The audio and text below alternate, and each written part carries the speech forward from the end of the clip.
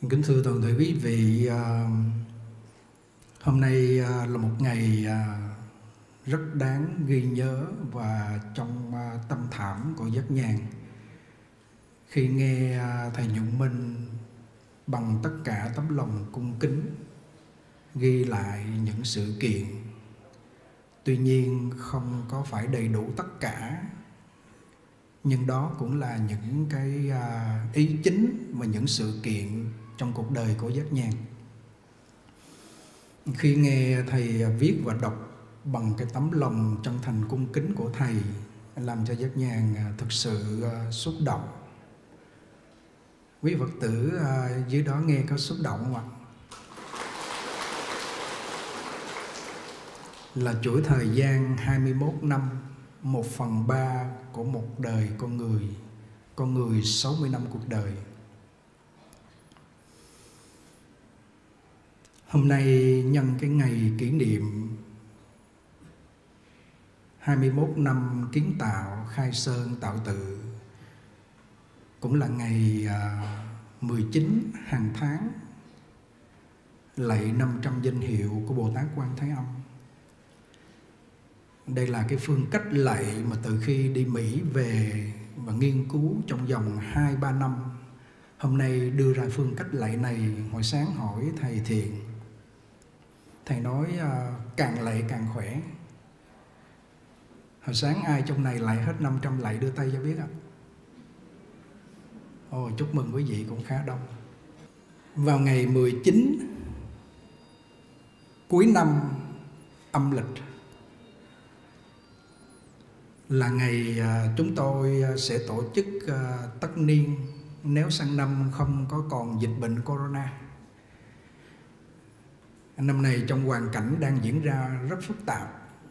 Tuy nhiên, quý phật tử tại địa phương tập trung về làm chúng tôi à, thực sự là lo lắng.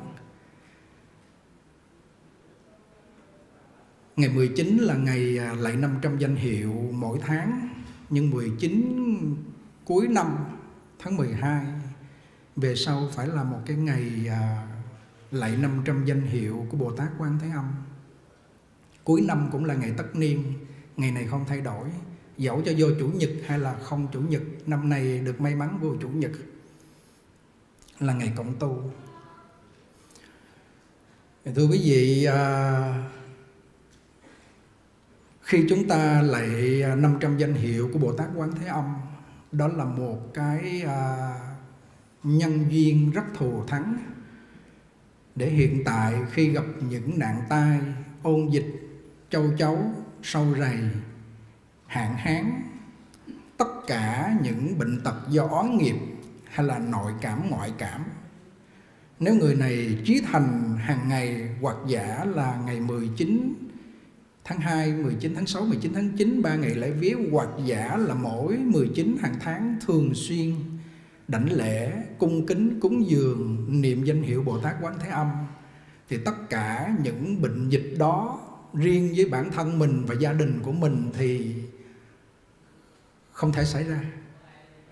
Vì tổ sư Ấn Quang dạy rằng nếu nơi nào có dịch bệnh mà thành tâm niệm danh hiệu Bồ Tát Quán Âm, hàng ngày thường xuyên, và nếu trì được 54 à, biến hoặc giả 108 biến thần chú Đại Bi, thì người này vĩnh viễn tạm biệt chào vĩnh biệt Corona, không bao giờ đến được chúng tôi lấy lời của tổ sư Ấn Quang dám khẳng định chắc chắn trăm phần trăm điều này. Nếu ai hoan hỷ tính thọ phụng hành thì sẽ nhận được cái thông tin ngay. Bởi vì lời của ngài à, tổ sư ấn quang đó là lời của cổ phật đại thế chí bồ tát. Ở trong văn sao ấn tổ nói quan thế âm bồ tát là cổ phật mà đại thế chí bồ tát cũng cổ phật. Tuy rằng ngài đang ở cõi ta bà chúng ta hiện thân trước đây 100 năm. Cái đó là báo thân của ngài. Nhưng ứng thân của ngài, pháp thân của ngài qua lại hai cõi thật báo. Trang nghiêm, vô chứng ngại độ và thường tịch quan tịnh độ. Vì vậy chúng tôi à, khuyến tấn mọi người, giờ đây dịch bệnh đang à, đột nhập lan tràn nước Việt Nam mình nhất là Hải Dương, Quảng Ninh vân vân đang diễn biến rất phức tạp và chủng loại 2 nó diễn biến còn kinh khủng hơn virus chủng loại 1 thì bây giờ chỉ còn một con đường duy nhất đó là phát tâm dũng mãnh ăn chay trường trong những ngày dịch bệnh này. Thứ hai phát bồ đề tâm dũng mãnh rải tâm từ thương yêu tất cả chúng sanh đang khổ đau và thêm thế nữa hàng ngày niệm phật lạy phật niệm quan âm trì thần chú đại bi để hồi hướng cho những người đang gặp tai nạn. Bên mỹ có những nơi chết một ngày hơn cả 10.000, có khi 5.000, 3.000 Người ta không dám đi ra ngoài. Cái cô đó cũng nói may quá có con chó chơi với nó Chứ không thôi là buồn chết Không ra ngoài được. Kinh khủng như vậy. Hôm bữa chúng tôi nói à, trong cái buổi chay tăng đó là sát nghiệp của, biệt nghiệp mỗi người mà nó gây nên cái cộng nghiệp của sát kiếp. Tưởng chừng sáng hôm nay chúng tôi à, tạm ngưng buổi lễ đó. Tuy nhiên nói thì à, có thể chúng tôi xin ờ, bên chính quyền để cố gắng khắc phục và làm lễ thời gian ngắn và làm sao đó để an toàn được. Và chúng tôi ờ, chương trình thì có mùng 1 Tết, có chúc Tết, nhưng mà theo chúng tôi thấy đang diễn biến như vậy, mà mùng 1 mà tập trung về đông như mọi năm đó thì không ổn. Không ổn. Vì vậy cho nên thành ra chúng tôi quyết định ngày mùng 1 Tết và lúc ờ, 8 giờ sáng chúng tôi ở khu chiên tu phát trực tiếp chúc Tết. Có thầy Nhân Minh sẽ chúc Tết cho chúng tôi và chư tăng và Phật tử trong Việt Nam và trên toàn thế giới. Và sau đó rồi chúng tôi sẽ có buổi giảng trong vòng một tiếng đồng hồ. Tuy nhiên quý vị à, nếu không có thông tin mà cấm để mà tập trung thì chúng ta vẫn về để thắp nhang lễ Phật, nhưng không tập trung đông được. Và ngày mùng 10 đó thì à, cộng tu đầu năm đó thì cũng sẽ tổ chức, tuy nhiên sẽ tùy theo tình hình dịch bệnh diễn biến. Vì vậy cho nên thành ra chúng tôi cứ cảm tưởng rằng cái buổi lễ hôm nay tập trung tỉnh thức quan âm cũng lâu lâu lắm mới sẽ tập trung lại và khi dịch bệnh ổn rồi chúng ta mới tập trung, chứ không thì sẽ à, gây đến cái việc mà ảnh hưởng nếu mà dịch bệnh ở đây bùng phát hoặc giả chính quyền họ xuống họ cứ nhắc nhở thì thì chúng tôi thấy phải nên chấp hành thì may là hôm nay à, chúng ta được tổ chức trong cái thời gian này và cái khoảng khắc này chúng tôi nghĩ à, quý phật tử à, giữ tâm mình cho thanh tịnh và không biết khi nào có những khoảng khắc trang nghiêm thanh tịnh và một diễn trình trang nghiêm hoan hỷ như vậy và cái ngày hôm nay cũng là cái ngày đại tường 3 năm của cụ Bình An là thân mẫu của cô Nguyễn Lê Thị Giáng Hương, vừa rồi tắt bạch đó.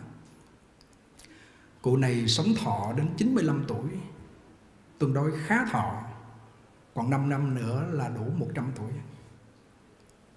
Cụ này khá thọ Và nhìn hồi nãy chúng tôi uh, vô chánh điện phụ thấy uh, các chú trang hoàng bàn thờ bông hoa trang nghiêm thiệt là trang nghiêm và nhìn di ảnh của cụ thực sự là một người phúc hậu sanh ra một người con thật là xứng đáng. Biết đạo, biết cúng dường tam bảo, biết làm từ thiện. Cô này năm nay 66 tuổi rồi, ăn chay coi như là trên 10 năm. Và hàng ngày tinh tấn tu hành, nhất là lúc trước bị một cái cục bú ngay đây, chúng tôi về kêu của trì đại bi. Chưa tới một tháng 54 biến mà trì bằng miệng, lúc đó chưa có mấy mất luôn cái cục bướu đó.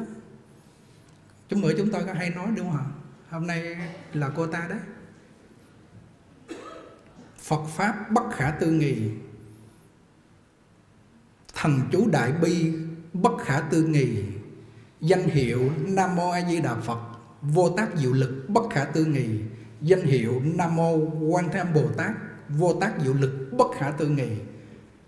Đem cái tâm chân thật, cung kính trí thành để mà trì tụng, dám bảo đảm có kết quả. Dầu là bệnh nan y. Vậy cho nên thành ra hôm nay à, thực sự à, là một cái ngày mà chúng tôi à, vừa mừng vừa lo. Mừng đó là đã đặt chân nơi à, chân núi voi này được 21 năm mừng là có được đại chúng và một đại gia đình có mặt ở đây cũng như trên toàn thế giới. Phát bồ đề tâm tinh sâu, nhân quả. Niệm phật cầu vãng sanh tây phương cực lạc. Đây là một niềm vui chúng tôi không lấy gì đổi được.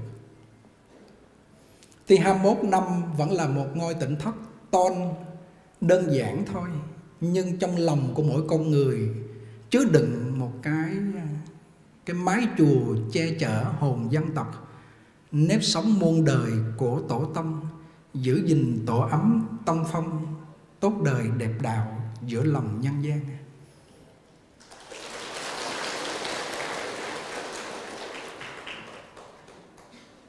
Thực sự hôm nay chúng tôi à, rất là cảm xúc cảm xúc rất nhiều trong một cái trường hợp à, hoàn cảnh à, diễn biến dịch bệnh phức tạp tuy nhiên à, quý vị vẫn à, về để mà cộng tu lạy Bồ Tát Quan Thế Âm, cầu nguyện Ngài gia hộ cho tại môi trường này, cho con người nào hồi sáng ở đây lạy, cũng như một số các vị Phật tử lạy trên online. Cô nga trưởng nhóm đạo tràng hương nguyện, cô này cũng không phải là sức khỏe tốt lắm, ốm ốm, gầy gầy, thế mà cũng lạy hết 500 lạy sáng hôm nay, mừng hoan hỷ vô biên cùng tầm thiệt là đạo tràng trên không trung hợp với thời đại hôm nay, tình hình dịch bệnh ở nhà lại quan âm là tuyệt, không có gì, tuyệt.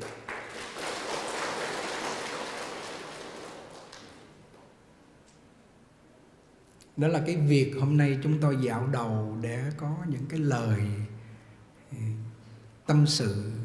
Giờ đây chúng tôi ờ, xin ôn lại một vài cái kỷ niệm sâu lắng của cuộc đời mình khi ờ, sanh ra và đi xuất gia đến ngày hôm nay. Cô động ngắn gọn. Giờ thời gian không có nhiều giờ 10 giờ. Nói được một tiếng đồng hồ nữa là 11 giờ. Tập trung lắng nghe chúng tôi uh, sanh ra trong một gia đình thực sự là gia đình thiếu phước. Vì sao mình sanh vô gia đình thiếu phước? Bản thân mình thiếu phước. Bởi vì sao mà gia đình mình thiếu phước và mình thiếu phước. Bởi vì mình xài phước. Đời trước mình không biết bố thí cúng dường. Không biết à, ăn chay phóng sanh.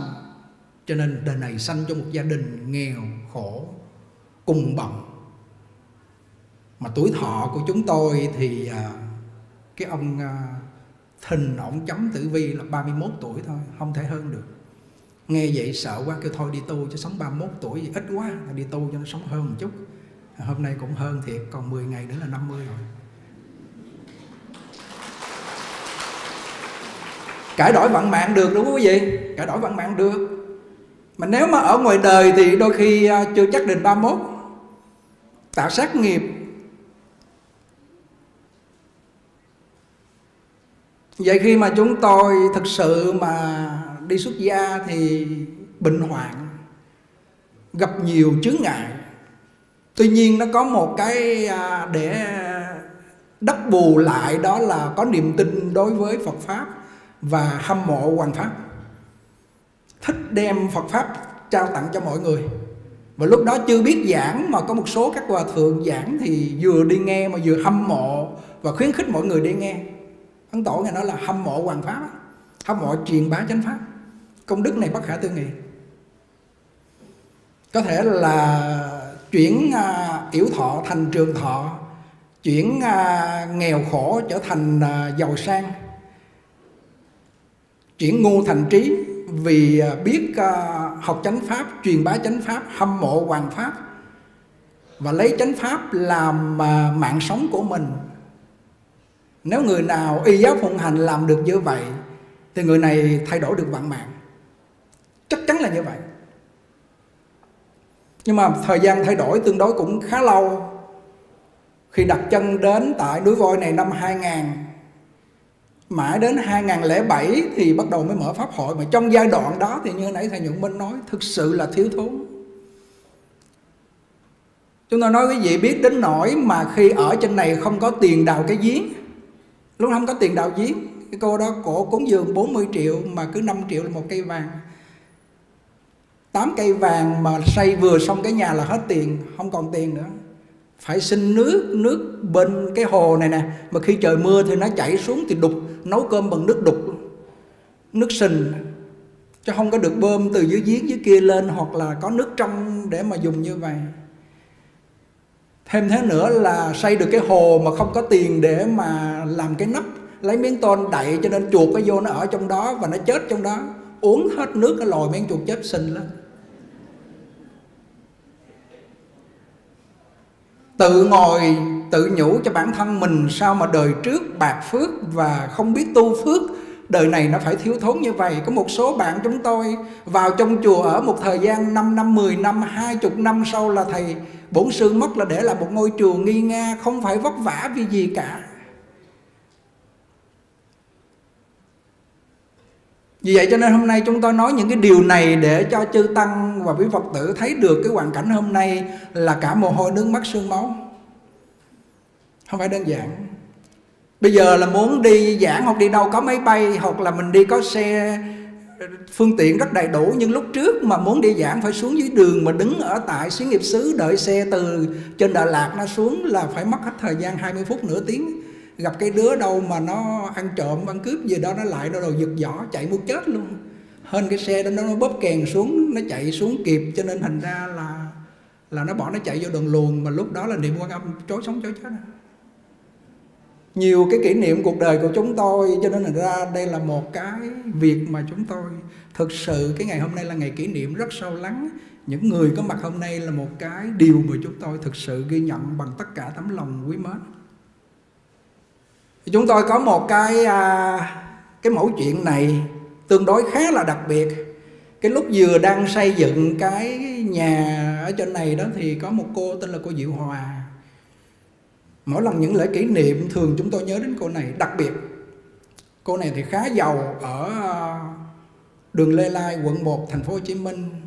Nghe chúng tôi à, xây thất thì cổ lên trên này mà cô này thì cổ bị ngọng cổ nói ngọng ngọng có nói một chữ thầy mà có nói hai, ba lần, ba, bốn lần, ngọng ngọng bạch bạch bạch bạch thầy bà bị ngọng. Cho nên thành ra rất là tội nghiệp mà cứ lên trên này thì ba ngày sau thôi là cổ khỏi phải ai dìu đi hết. Lên một, hai ngày đầu là chúng tôi phải dìu cổ đi, nắm tay dắt cổ đi. Lúc đó là cổ sáu mươi mấy tuổi rồi. Mà ba ngày sau là cổ tự đi. Cổ nói không khí trên này làm cho con có sức khỏe tốt quá, con khỏe quá, thầy khỏi phải dắt con đi nữa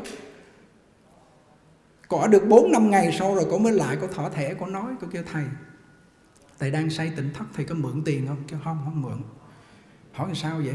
Con có tiền nhiều lắm mà mấy thầy, một ít thầy cũng mượn. Thôi thầy mượn đi, thầy xây cho dư giả đi.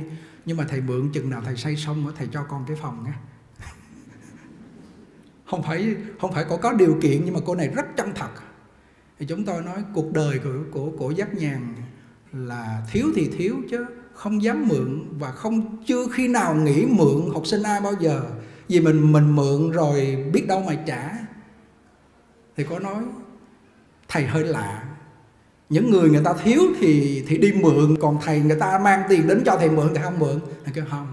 Nó kêu, vậy không mượn thầy thì con cúng cái ọ cúng thì được. Ok, bây giờ vậy thầy cần cái gì? Tôi kêu là bây giờ cái đường điện từ ở dưới đó đi lên đây không có điện thắp đèn dầu không? Mà khi mà ban đất để làm cái tỉnh thất á, thì lấy cái bếp mà bếp bằng dầu á, để nấu á, thì thì phải canh giống thôi lửa. Dầu nó cứ lên liên tục cho nó phải nước cái cái nồi nồi nấu cơm bây giờ là mình bỏ vô gạo vô trong cái nồi cái mình bấm điện. Đúng cái giờ để làm cái cạch nó nhảy lên cái chính cơm mình ăn đúng không? Nhiều lúc đó là lấy cái lò bằng dầu bỏ cái nồi lên trên đó rồi đổ gạo vô. Nhiều lúc quên vô nó cháy khét ngạt luôn. Buổi tối coi như là chiều không có cơm ăn luôn, nó khét ngạt luôn, nấu lại mệt có thôi ngủ luôn cho rồi. Thì cuối cùng không có điện thì bây giờ nói cổ, cúng dường đường điện, mà cái đường điện lúc đó nếu mà mà dây đồng tốt là khoảng 15 triệu. Mà chúng tôi biết là cổ có tiền nhiều nhưng mà thôi một mình mình xài thôi. Điện nhôm 5 triệu cũng được rồi, thì cô cúng dường 5 triệu. Thì khi khi lúc đó là đi theo cổ xuống Sài Gòn để cổ đổi tiền đô cô nói, con có tiền đô nhiều lắm thầy hỏi bao nhiêu thì kêu, con con nó gửi về gần cả trăm ngàn đô mà lúc đó trăm ngàn đô nhiều lắm.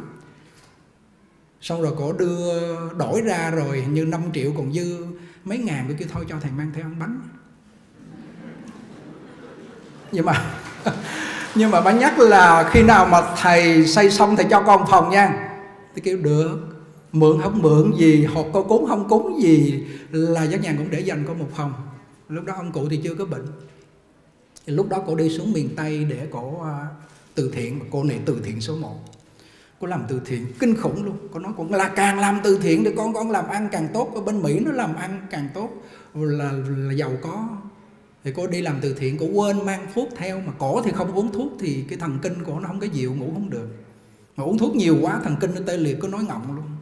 Thì ngay cái ngày mà chúng tôi à, làm lễ ăn vị cũng như là nhập trạch cũng như là về nhà mới đó thì cái ngày đó là cổ lại vô bệnh viện bởi vì cổ nhiều ngày không uống thuốc cho nên cổ vô bệnh viện.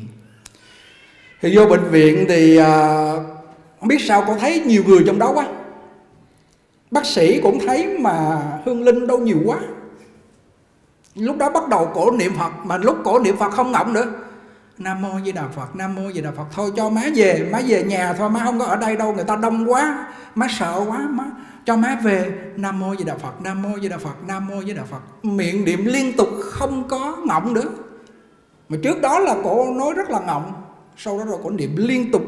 Cổ niệm đến lúc con cái phải cho về, vừa về tới nhà là ra đi luôn. Mất luôn.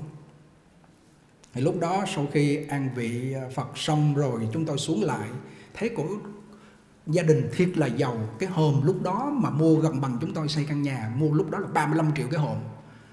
Mà có kiến đồ rất đẹp mà vô nhìn cổ cái mặt thấy luôn. Kiến nó đóng lại, không có mùi ra, nhưng mà mặt của cổ nhìn tươi quan hỷ vô cùng. Chúng tôi mới nói là cô nói hơi ngọng, cái đầu của cô đã không có tỉnh lắm, thì cô túng đường điện nhờ thắp sáng cho tam bảo, cho nên cô về sau sẽ tỉnh. Ra đi sẽ tỉnh. Nói cổ cổ kêu vậy được, con cúng dường cái điều này là cúng đường điện thì à, đây là một người phật tử mà lúc chúng tôi khai sơn lập địa và cô này là một người mà chúng tôi thấy cổ niệm phật ra đi rất quan hỷ và về vừa về tới nhà cổ ra đi. Chứ nếu cổ không niệm phật thì cổ đi tại bệnh viện thì nguy nguy lắm. Đó là cái việc mà hôm nay chúng tôi à, nói để cho đại chúng nghe. Tổ sư ấn quang ngài có khai thị. Cuộc đời của tôi nghèo sơ nghèo xác có bao nhiêu tiền in kinh nuôi chúng? Và tôi ra đi không để lại à, kỷ niệm gì cả ngoài bộ y với bình bát tôi có tiền tôi làm phật sự đem công đức này giúp ích cho tất cả chúng sanh. Khi mình có được phước báu thì mình phải chia sẻ cho người khác để hưởng. Đem cái phước báu cái công đức mà chia sẻ này để mà hồi hướng về tây phương cực lạc làm cái à, tư lương hành trang để mình về bên đó không hồi hướng về cõi trời, cõi người. Không đời sau để làm vua quan. Không đời sau giàu có đại gia. Ngài nói như vậy. Cõi trời người không phải là chỗ ta ở. Nên nhớ chỗ này. Đó là cái việc mà mãi đến hôm nay chúng ta vẫn giữ đúng cái cái lập trường. Nói hôm nay không phải tự khen mình hoặc khoe hoặc nói những người khác, các thầy khác xây chùa mượn, không có, không suy nghĩ này, mà đang nói cho quý thầy, đang nói cho mọi người có mặt ở đây. Có phước thì có phần. Mình có phước, mình hưởng cái phước của trong mạng mình có, không vay mượn. Phải lập trường vững như vậy. Đã không vay mượn rồi thì không có thể gọi rằng là kêu gọi xin xỏ. Giữ vững như vậy. Vừa rồi có một chú đó làm cho chúng tôi ấn tượng ngày hôm nay gương mặt của ổng nhìn lỗ lỗ, mụn mụn đầy hết trơn. Hỏi chú sao mà nhìn thấy run rẩy? Ông gặp chúng tôi, ông càng run mạnh hơn nữa. Ông kêu, không biết sao hồi nãy ít run mà gặp thầy run quá đi. Hỏi, trước có ăn con gì? Ông kêu, ăn con rắn. Mà bây giờ tay chân ông nó run rẩy mà nhìn gương mặt ông da dãy bây giờ đang nằm phòng hộ niệm. Ông ông tới ông bò sát ông kêu, con có ông chỉ vàng, con đưa cho thầy. Bây giờ trong đời con có nhiêu đây thôi. Nhờ thầy giúp giùm con, cho con sống không bao lâu đâu. Hỏi, giờ giúp làm sao? Kêu thầy cho con vô phòng hộ niệm. Khi mà con chuẩn bị ra đi thì cho vô phòng hộ niệm, con đưa thầy chỉ vàng. Thì chúng tôi nói, không, bây giờ chú phải bán cái chỉ vàng này đi, giữ đó, để mà ra phòng trọ bên ngoài ở để đăng ký tạm trú. Có đăng ký tạm trú rồi, khi nào chú yếu là vô đây không tốn một đồng nào hết. Ông sững sờ. Đây là chúng tôi nói để ban hộ niệm biết, quý thầy biết phải để lại trong con người những ấn tượng đẹp, đừng để vật chất lên hàng đầu. Thì lúc đó cái ông đứng bên cạnh nói là ông không có giấy tờ và và cha mẹ ruồng bỏ hết. Con nuôi ông đến ngày hôm nay và con sẽ về nhập khẩu và làm chứng minh đầy đủ hết để cho ông lên trên này. Mà mới nghe đây là ông đang vô phòng hộ niệm nằm trong này rồi. Thì khi mà mình đối nhân xử thế, đối người tiếp vật không để cái cái lợi về vật chất lên hàng đầu thì cảm phục người khác liền. Cảm phục liền. Và họ tin tưởng mình liền. Và họ nói chỗ này không phải là chỗ lừa gạt họ liền. Và họ phát bồ đề tâm để họ dũng mãnh tu hành. Cái, cái này gọi rằng là âm đức. Âm đức. Mình phải mình phải tích trữ âm đức này để làm gì? Để nó bảo toàn cái cái thọ mạng của mình, nó bảo toàn cái phước báu của mình. Và người nào chịu tích âm đức, người nào chịu giúp người một cách không điều kiện, không lợi dụng, thì người này được ngũ phước lâm môn. Ấn tổ nói ngũ phước này lắng nghe này buổi giảng hôm nay khá quan trọng đó. Không biết khi nào ngồi pháp tòa giảng lại dịch bệnh với hai nữa, chúng tôi muốn bế quan tu. Nói mãi từ lúc dỗ bà cụ đến hôm nay hôm nay phải xuất hiện ở đây để ờ, để cho đại chúng ờ, tin tưởng pháp môn tịnh độ là chính, chứ không có cái khoe khoang khoác lác gì đâu. Vẫn là phàm phu tục tử đấy, phàm phu lắm. Nghe ấn tổ nói ngũ phước lâm môn này. ngũ phước là gì? Một, sống lâu. Hai, giàu có. Ba, bình yên khỏe mạnh. Bốn, ham chuộng đức hạnh năm chết tốt lành. Những điều này chính là nêu đại lược về nhân trước quả sau ước theo đời trước đời này mà luận của đạo trời. Phước thiện hòa dâm vậy, thật ra trời cũng không có quyền, chẳng qua thuận theo điều thiện, điều ác cho kẻ đó đã tạo và ban phước giáng họa. Nho gia gọi đó là mạng mạng ấy cũng là tự lập tự chịu, trời đâu có hậu đãi kẻ này tệ bạc kẻ kia ư. Nhiều người nói gì? Trời hại tôi. Quỷ thần hại tôi. Không phải. Chỉ là nhân quả thôi các bạn. Đang nói nhân quả. Nếu người nào tích phước, tích âm đức, biết làm thiện, sửa lỗi hướng thiện, chịu cách vật chí chi, chánh tâm thành ý, tu thân, thì lúc này gia đình của mình sẽ được yên ổn là tề gia rồi mình mới trị quốc bình thiên hạ được. Lắng nghe cho kỹ. Người sống lâu phải có phước mới sống lâu. Phước đó là phước gì? Phước đó là lòng từ không giết, đó là tịnh nghiệp tam phước. Phước người ăn chay, phước người kiên giết, phước người phóng sanh. Khuyên người ăn chay, khuyên người kiên giết, khuyên người phóng sanh đây là phước của lòng từ không giết, của tịnh nghiệp mà ba đời chư Phật đã làm. Nếu ai làm được điều này thì chắc chắn là phải sống lâu. Nếu không có tiền để mà phóng sanh thì ăn chay kiên giết. Khuyên người ăn chay kiên giết là lợi tha của tịnh nghiệp này. Chắc chắn bảo đảm 100 tuổi là bình thường.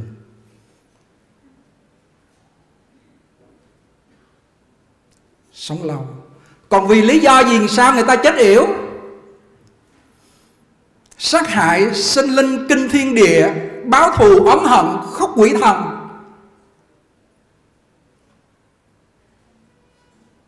Chúng sanh đang sống sờ sờ đó, cắt ngang sinh mạng đó. Dẫu là không trực tiếp giết, hàng ngày ăn cũng là gián tiếp giết. Chút nữa, thầy minh có đọc cái chỗ này, tổ sư ông quan khai thị rất sâu sắc về cái việc mà kiên giết ăn chay thì khi sinh mạng con thú vật đang sống, mình không trực tiếp nhưng mà mình gián tiếp thọ mạng mình tức thì bị ngắn. Thì người này gọi là ngũ phước si hao. Đúng không? Ngũ phước si hao. Tự mình làm tự chịu. Lúc bệnh hoạn, lúc thọ mạng ngắn, bắt đầu chết, đừng có nói ông trời ông hại mình, quỷ thần hại mình. Người này là chủ yếm mình, không phải đâu. Do tự làm tự chịu à nhân trước quả sau à nhân quả thông ba đời à? Trong này ai muốn sống lâu đâu giơ tay lên nè thầy cũng muốn 80 tuổi nè. Ai muốn sống lâu? Sống lâu nhưng mà gì? Phải khỏe mạnh. Nhưng mà sống lâu mà nằm một đống đó, bị bệnh hoạn thì có tốt không? Không. Ai ai muốn sống lâu mà bệnh hoạn giơ tay coi. Cười gì cười? Chắc là ai cũng muốn sống lâu khỏe mạnh thôi. Giơ tay coi. Để giờ ai cũng muốn lâu khỏe mạnh. Thì phải làm cái gì? Sống lâu đó là mình phải tích lũy cái phước. Đó là vô ý. Công đức vô ý. Là làm cho chúng sanh không còn sợ hãi. Đem lại cho chúng sanh bình yên. Hàng ngày mình lễ phật, niệm phật niệm quan âm bồ tát, lễ quan âm bồ tát, trì thần chú để bi, hồi hướng cho khắp pháp giới. Bắt đầu từ khi dịch bệnh là chúng tôi đã hồi hướng rồi, cho chúng sanh được bình yên. Tuy rằng không biết được hay không, nhưng mà cái công đức mà hồi hướng này bất khả tư nghị. Tin tưởng đi. Sống lâu, khỏe mạnh, giàu có. Giàu có nghĩa là người này có phước báu họ muốn mua cái gì là có liền, mua xe có xe, mua nhà có nhà, phước báu của họ tràn ngập xài không hết. Họ biết bố thí, họ biết cúng dường. Và người này ưa chuộng đức hạnh. Thấy người có đức hạnh là họ cung kính. Thấy người không bằng mình là họ nâng đỡ và họ giúp đỡ cho người đó.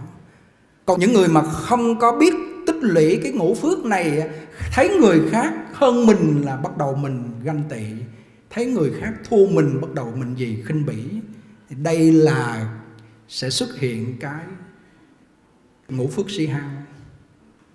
Và cái phước thứ năm của ngũ phước lâm môn đó là gì quý vị? Là lúc chết được tốt lành thân tướng đẹp đẽ. Và khi người ta biết trước lúc mất nữa tuy rằng họ không niệm phật có cái ông đó ở dưới bình định đó, ba chúng tôi nhắc hoài sao cái ông đó ông nói đúng ngay giờ đó ông đi?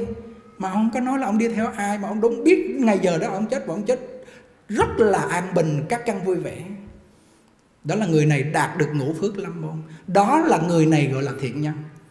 Mà muốn chuyển lên thiện nhân, lên hiền nhân, lên thánh nhân để về tây phương cực lạc thành phật thì người này phải tích lũy thêm cái phước của nhà phật, đó là tịnh nghiệp tam phước nữa. Tịnh nghiệp tam phước đó là hiếu dưỡng cha mẹ, lòng từ không giết làm 10 điều thiện. Tôn kính sư trưởng phải làm thêm cái tịnh nghiệp tam phước đầu tiên nữa rồi quy y tam bảo, thọ trì, cấm giới bất phạm, oai nghi là tịnh nghiệp tam phước. Thứ hai của tịnh nghiệp tam phước trong kinh quán vô lượng thọ. Thứ ba đó là đọc tụng đại thừa, khuyến tấn hành giả tin sâu nhân quả. Và đọc tụng đại thừa đó để khuyến tấn hành giả vãng sanh cực lạc. Đây là tịnh nghiệp tam phước của phật giáo sâu hơn nữa, đặc biệt hơn nữa ở đây hôm nay có một vị thầy đang ngồi ở đây. Chúng tôi với thầy cũng cùng cảnh ngộ là lúc trước cũng trùng cùng ở trong thiền viện. Hôm nay sư cô là mẹ của thầy. Phải nói là khi gặp bệnh rồi thì thầy phải lo hết mình. Bao nhiêu tiền bạc cúng dường trai tăng ở đây cũng có. Cúng dường thiền viện trúc lâm, các nơi thầy làm bao nhiêu phước báu, đều hồi hướng hết cho mẹ. Tuy rằng đời này sư cô không có làm điều gì ác hết trơn. Hỏi lại thầy, không có làm điều gì ác coi như là không có tạo những cái nghiệp sát sanh và ăn chay đi xuất gia đến ni sư rồi. Nhưng mà do đời trước tạo sát nghiệp đời này phải trả. Mà trả trong một đời này để khỏi làm loài súc sanh xuống địa ngục ngạ quỷ để trả. Tốt. Không có cái gì bỗng không hết. Đó là nhân quả hết. Thì hôm nay chúng tôi muốn nói đến cái việc mà con người mình phải à, quyết định một đời này phải vãng sanh. Tuy nhiên có một số những người họ niệm phật nhân niệm phật thì có mà quả vãng sanh thì không có. Bởi vì họ mất cái nền tảng căn bản đầu tiên để làm người là nhân thừa rồi. Mà họ bước lên phật thừa mất căn bản họ đi không được. Thì đây cái lá thư này là 407 Hôm trước chúng tôi có nói sơ qua rồi. Rất đặc sắc Ngắn gọn, cô động, xúc tích mà chúng tôi được xem như lá thư này là chúng tôi đọc đi đọc lại rất nhiều lần. Và ấn tổ cô động cái bộ văn sao và những người muốn vãng sanh thì áp dụng trong cái lá thư này không dài. Nhưng mà nó ngụ ý trong đó là phải làm được nhân thừa, là giữ vẹn luân thường. Nếu không giữ vẹn được luân thường, ngăn dứt lòng tà, giữ gìn lòng thành là một con người hiền thiện, thì người này không phải là thiện nhân, giống như chim mà không có cánh và khi thiện nhân không làm được mà bước lên hiền nhân, thánh nhân để tu quả vị Phật, thì người này mất căn bản. Hôm nay nhân cái tiện lễ tất niên kỷ niệm 21 năm này, chúng tôi nói cái lá thư này, đại chúng nên quan tâm, quan trọng lá thư này. Ai có văn sao rồi đó nghe, thì về nên lật ra để mà coi trong cái lá thư trong tam biên 407 lắng nghe kỹ. Giữ vẹn luân thường trọn hết bổn phận Dứt lòng tà giữ lòng thành Đừng làm các điều ác Văn giữ các điều lành nếu muốn học Phật đạo để thoát phàm tục mà chẳng chú trọng nơi bốn câu ấy sẽ như cây không rễ mà muốn tươi tốt, như chim không cánh mà muốn bay cao ư. Chỗ này sâu sắc, chiêm nghiệm sâu sắc, cực kỳ sâu sắc. Chim không có cánh làm sao mà bay, cây không có rễ làm sao mà đâm chồi nảy lọc ra bông kết trái được. Là một con người nếu là thiện nhân mà không làm được điều này giữ vẹn luân thường trọn hết bổn phận ngăn dứt lòng tà đừng làm các ác vâng làm các thiện. Cái này là bài kệ tu trì của ngài. Quan trọng cực kỳ của một con người khi làm được điều này thì mới nói đến cái chuyện niệm phật nha. Lắng nghe cho kỹ này. Mà luân thường đó là hiếu để trung tính lễ nghĩa liêm sĩ tám cái chữ này nếu mà làm được trọn vẹn thì người này gọi là một con người hoàn thiện, gọi là thiện nhân. Nếu tám chữ này mà làm không được thì người này không phải là thiện nhân, Là người ác nhân rồi. Mà trong tám chữ này vẫn là chữ hiếu sinh và hiếu đức, Chữ hiếu để lên hàng đầu. Hiếu để trung tính lễ nghĩa liêm sĩ, Làm cho bằng được. Cô Giáng Hương này Thực sự bà cụ có phước. Mẹ của cô thực sự là có phước. Lúc tuổi về già, Cô lo lắng đầy đủ. Lúc còn sống, cô cũng đi cúng giường hồi hướng hết cho mẹ. Lúc mất rồi, ba năm nay cô đi không biết bao nhiêu cái đạo tràng tam thời. Huệ niệm ở dưới thầy ờ, thiện thành với trà vinh và hầu như đạo tràng nào ở ngoài huế, những đạo tràng nào mà có cúng kiến là cô đến để cô lạy có không phải là kêu là có của có điều kiện, cô này cũng có khá phước báu. Mà đến không phải chỉ cúng dường xong rồi đi đâu. Sáng hôm nay cũng tranh thủ lên để mà lại mà hôm qua là đi từ thiện với tây ninh. Mà đi về mà coi như là tưởng là xe nó nó nó, không biết sao mà xe xe xăng mà nó đổ dầu. Nó chạy, nó banh giữa đường luôn. Bắt taxi mà chạy lên tới trên này vừa kịp vừa kịp là máy bay nó ra, nó bay lên trên này chứ không thôi tiêu. Rồi. xuống tới tây ninh chạy về trên này, kịp để mà cúng sáng nay lại hết 500 lạy chứ không phải giàu có mà kêu rằng không, chỉ có bố thí cúng dường tôi không biết tu. Vừa có phước mà vừa có công phu, vừa có tu mà vừa có làm phước, thì giống như chim có hai cánh. Tu đó là để cho đoạn trừ phiền não, phát sanh trí tuệ. Phước đó là gì? Phước đó là cái cái bè để mình nương nấu ở trong cõi này và lấy cái phước này hồi hướng về cực lạc thì quả vị mình thăng cao. Nên làm hai chuyện này giữ vẹn luân thường, người nào làm được hiếu đức? Mà cái hiếu đức là cái gốc, là cái nền tảng. Giống như cái cây, nó có rễ là cái đức, là cái gốc. Con người có hiếu đức rồi á ngang, thì tất cả những phước báu vào với họ một cách dễ dàng. Họ làm đâu chúng đó. Mà người bất hiếu rồi không có hiếu đức, họ làm đâu chọc đó, làm đâu trở ngại đó. Rồi đến lúc con cái của mình nó sẽ trả lại cái quả bất hiếu cho mình thấy nói về cái chuyện bất hiếu thì bữa nay chúng tôi thấy quá kinh khủng rồi kinh khủng, quá kinh khủng rồi con cái cha mẹ không thể đặt đẻ được. Thương là yêu nhau, là tự cưới nhau. Tự lập gia đình, tự do kết hôn. Để mà kêu cha mẹ mà đặt đẻ thì không bao giờ. Không bao giờ có chuyện này. Sống theo ý mình hết. Trong gia đình bị lũng củng. Giáo dục gia đình bị lũng củng. Người mẹ không học lời thánh hiền. Cho nên con cái không thành thánh hiền. Người mẹ đi lo tìm kinh tế Thì sanh ra con cũng lo đi tìm kinh tế, Có tiền bạc của cải vật chất. Người này có tài nhưng mà lại không có đức, Đó là tiểu nhân. Kẻ có đức Dẫu cho tài người ta yếu kém, Vẫn là người quân tử đó đức thắng tài là người quân tử mà tài thắng đức là đứa tiểu nhân. Vậy mà đắp cái nền tảng, cái đức hiếu hiếu đức cho nó quan trọng không? Cực kỳ quan trọng. Mà khi còn nhỏ mà không có đắp cái nền tảng từ lúc trong thai giáo cho đến lúc lớn lên cũng như là măng thành tre rồi uống đâu có đường nữa đâu, không được. May thay sao mấy thầy lại còn một cái phước báu, cái thiện căn trở về trong tâm bảo rồi thuần thiện thuần tịnh, thuần chay ở trong này. Hoan hỷ để mà tu, chứ cái tuổi này đâu phải là cái chuyện đơn giản đâu. Ngoài đời thôi, cho khét tiếng. Không đơn giản đâu.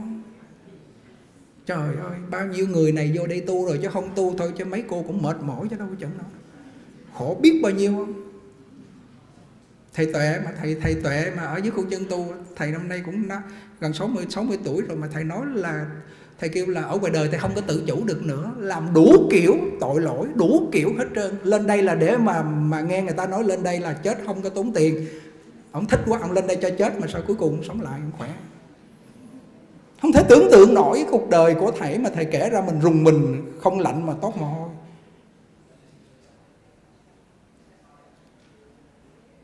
Kinh khủng như vậy, giữ vẹn luân thường là hiếu đức và hiếu sinh. Hiếu sinh là bảo tồn sinh mạng của chúng sinh thương yêu loài vật, giúp người lợi vật.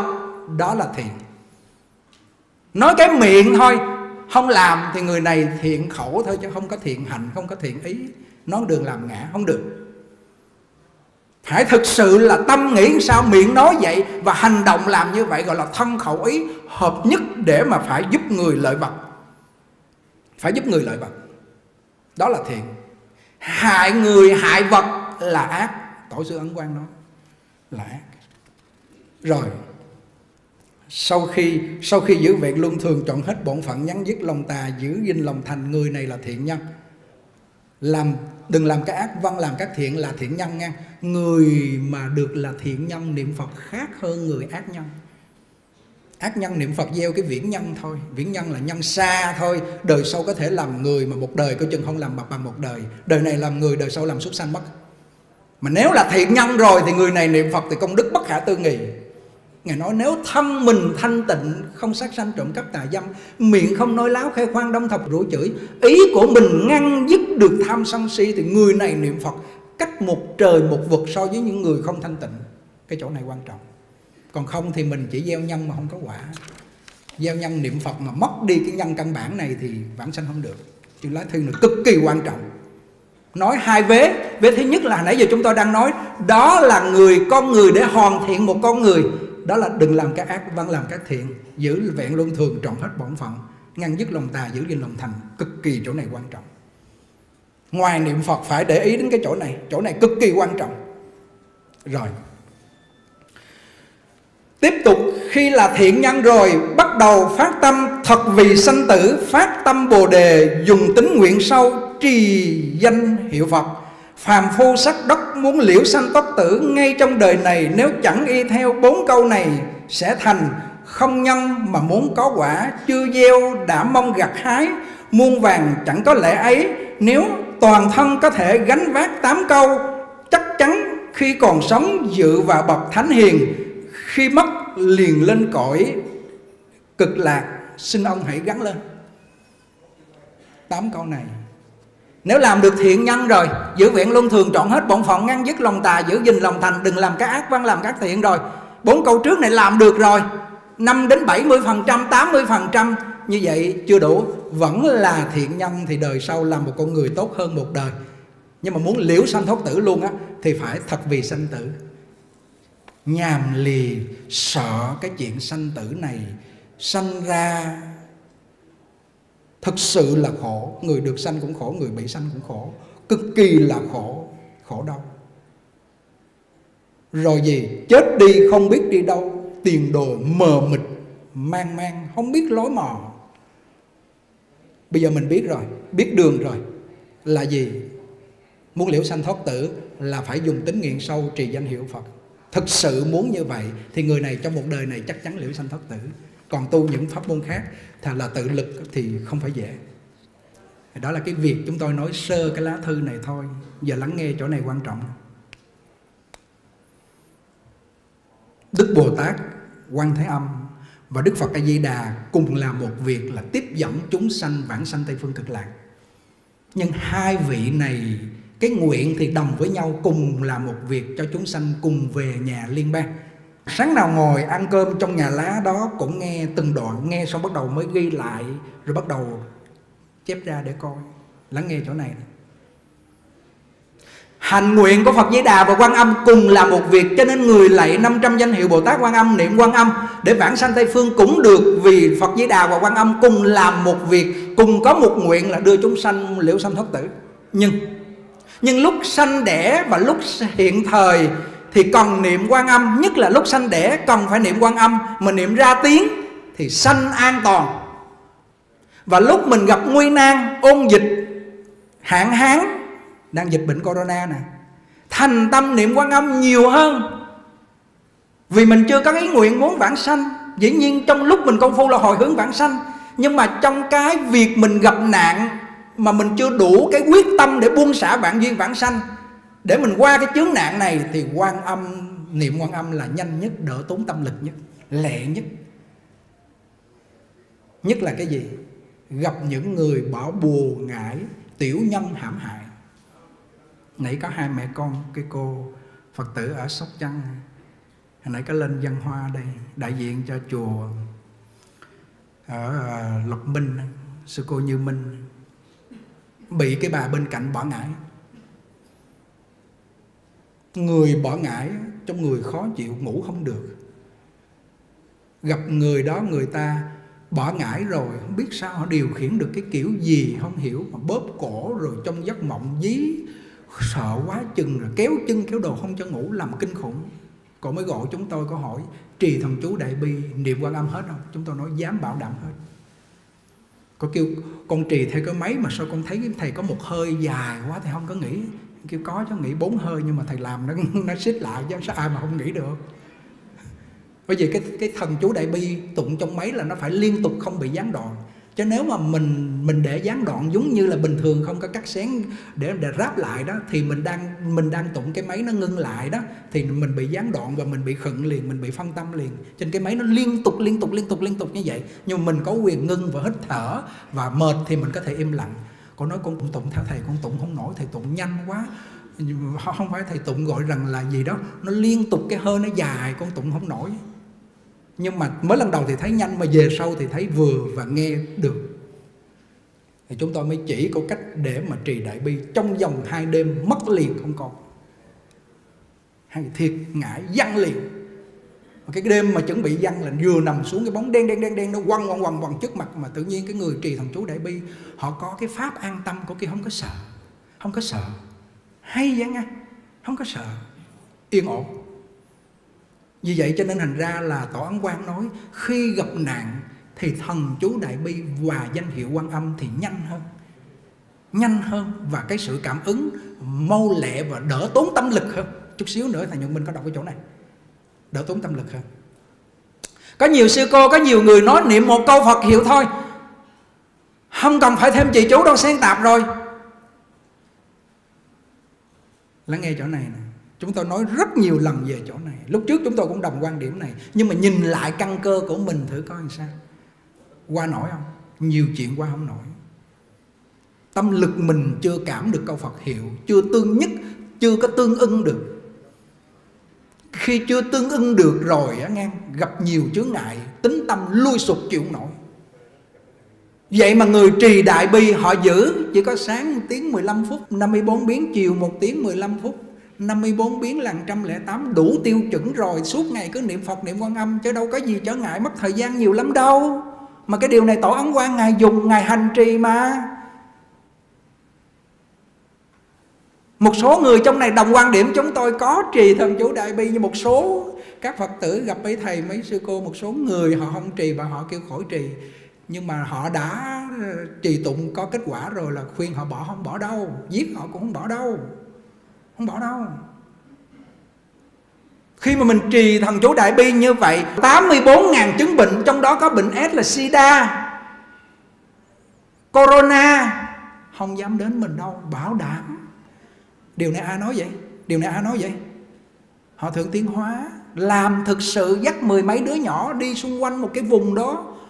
Họ đang dịch bệnh chết quá chừng luôn mà ngày niệm một thời gian tiêu hết cả dịch bệnh, cái làng đó tiêu hết hết dịch bệnh, ngài có nói mà thầy nhân minh hay đọc cái điều này. Tin đi, bây giờ đang dịch bệnh hoành hành. Trời ơi, cái cô đó cô kể bên đức, cái ông đó ông kêu, trời ơi, chưa, hồi nhỏ giờ chưa khi nào thấy cái hoàn cảnh mà ở trong nhà như cái tù như vậy? Không dám ra ngoài, chết quá trời trời luôn rồi. Cái bà đó nói, nếu không có con chó chắc điên luôn, chơi với nó mà nó đâu biết nói năng gì đâu mà con chơi với nó đỡ buồn cho lúc đó mình trì đây bi niệm phật. Thôi sướng biết mấy? Lúc đó là đang nhập thất luôn. Sướng biết mấy không họ không có ai chỉ, cho nên gặp phật pháp không phải dễ đâu. Năng tính chi pháp là pháp môn tịnh độ khó tin và phật pháp rất khó tin. Người ta nói cũng chưa chắc gì tin nữa đó. Hảo đạo tràng nan ngộ, dễ gì gặp được đạo tràng tốt à? Thân người khó được à? Phật đạo khó thành. Nó nghe kỹ có cái cô phật tử bên mỹ ở santa ana, giờ hiện tại cô đang nghe trực tiếp bên đó. Cô nói, con trì thần chú đại bi mà 108 biến bằng miệng thôi, không có mấy á. Con muốn đứt hơi luôn và rác cổ con chịu không nổi. Chúng tôi chỉ lên trang web vô lượng thọ vn, kéo cái file mp3 trì thần chú đại bi xuống.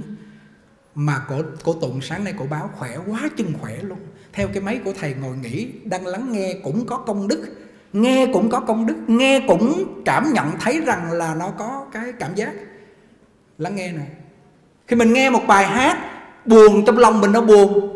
Nghe bài hát vui trong lòng mình nó vui. Con người bị chi phối âm thanh rất lớn. Nếu mà nghe được thần chú đại bi, nghe lại danh hiệu phật, mình niệm, nghe trong máy hoặc giả là nghe lại danh hiệu quan âm bồ tát, có công đức trong đó, cho nên thân tướng của mình thay đổi. Và gì?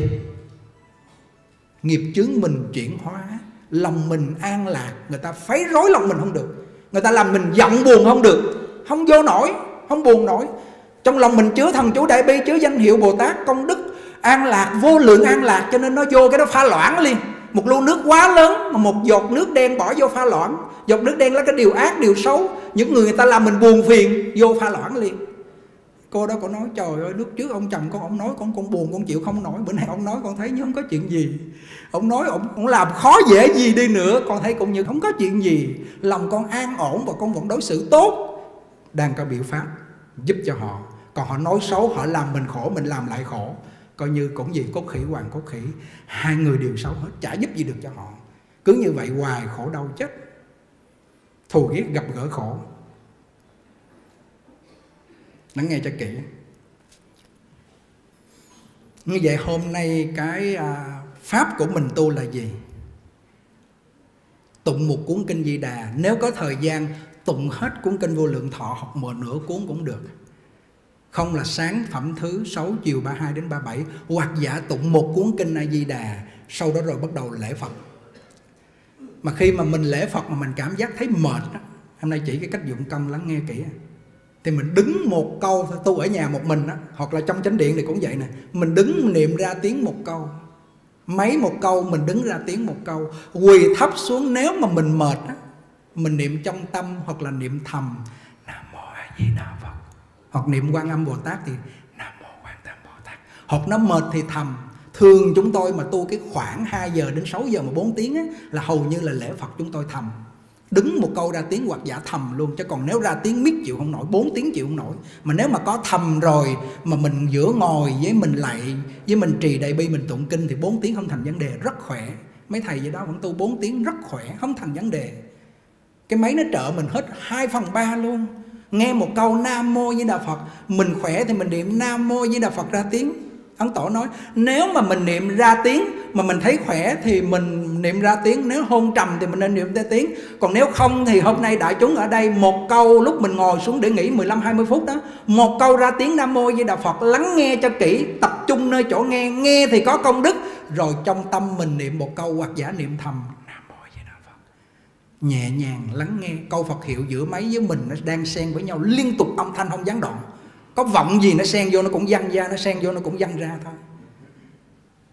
Cái đó là cái cách tuy rằng đơn giản vậy thôi, nhưng mà hiệu quả đó quý vị. Không có mệt, lại hoài không mệt. Mệt mình ngồi xuống lắng nghe.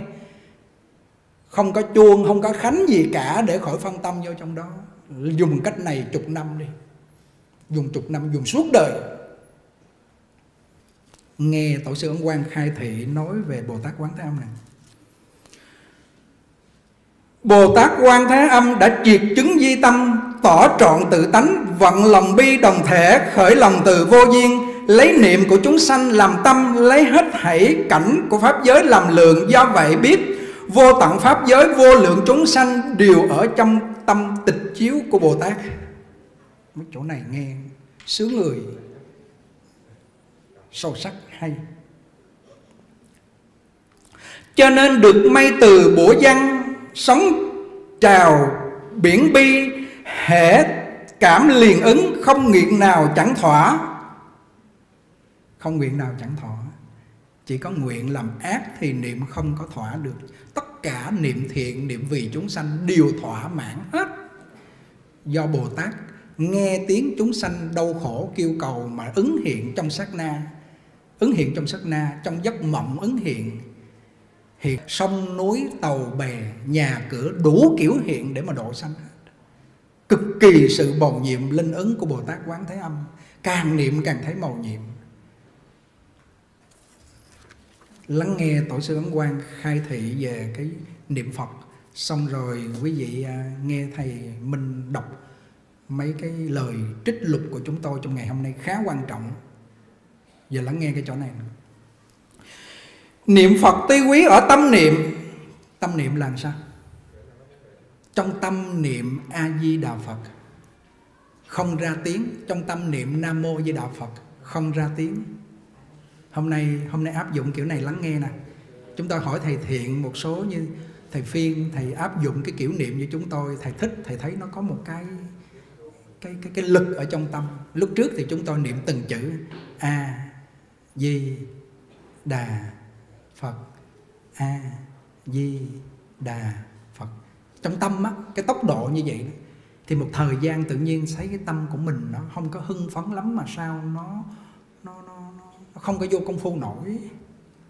Sau rồi bắt đầu a di đà phật a di đà phật a di đà phật. Ba câu một lần thì tâm lực người nào mạnh người ta làm được. Tâm lực người nào mạnh người ta niệm nhớ số được. Ấn tổ nói có nhiều lúc tôi không nhớ số nhớ số tốn tâm lực. Lắng nghe chỗ này hôm nay đổi lại cái cách a di đà phật. Trong tâm á nhặt lại hai chữ nè, lắng nghe nè. A di đà phật, a di đà phật, a di đà phật. Hai chữ một, cái tâm mình nó yếu, nó chưa nhớ rõ. Quý vị để ý coi nghe, lắng nghe nè. Trong tâm của mình mà buồn, phiền, giận, hờn, suy nghĩ một điều gì bức tức đó nghe. Hoặc suy nghĩ một cái điều gì mà mình thích thú nó mạnh ghê lắm nó dày đặc ở trong đó luôn. Đêm nay còn nằm mơ thấy cái điều đó luôn. Lấy ra không được. Nhưng mà khi niệm câu Phật hiệu là nó yếu nhất à. Nó nhạt nhòe vô cùng. Bởi vì hàng ngày mình không có ức niệm. Ấn tổ nó không có ức niệm là không có nhớ niệm. Không có vui mà niệm. Chứ nếu mà nhớ mà niệm á, thì khi nó nói chuyện hoặc nó lo công việc gì, bằng đầu óc viết lách thì nó lo. Nhưng mà khi thả một cái nó quay lại liền. Nó bật lại liền. A di đà phật. A di đà phật cho đến lúc ngài nói, đi đứng nằm ngồi, nói năng động tịnh mặc áo ăn cơm vào đại tiểu tiện, tiếp khách, lấy câu phật hiệu làm bổn mạng nguyên thần, không cho quên. Công phu này kinh lắm. Công phu này không phải dễ đâu. Đến lỗi ngài đang viết lắm mà vẫn niệm được luôn. Trong văn sao có những đoạn đó. Đi đứng nằm ngồi nói năng động tịnh mặc áo ăn cơm vào đạo tự tiện mà. A di đà phật, a di đà phật, a di đà phật mà thường niệm trong tâm thì sao? Thường niệm trong tâm thì người này khí lực không bị tổn, dưỡng hơi, dưỡng thần, dưỡng thân, dưỡng tâm. Cực kỳ là hay luôn. Bốn chữ a di đà phật, a di đà phật. Buổi sáng dồn toàn bộ vô trong cái danh hiệu phật.